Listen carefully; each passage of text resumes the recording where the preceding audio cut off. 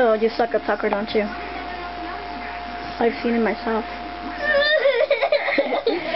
The ball's coming through your feet. Then you try to kick it, and it's coming through you, and then you try to kick it, and then it goes all the way.